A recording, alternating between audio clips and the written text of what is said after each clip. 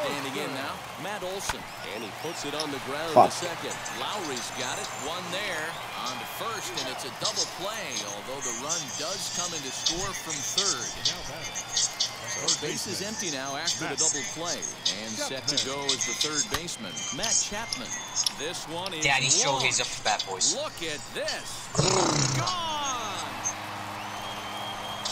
Hey, beat, I'm beat.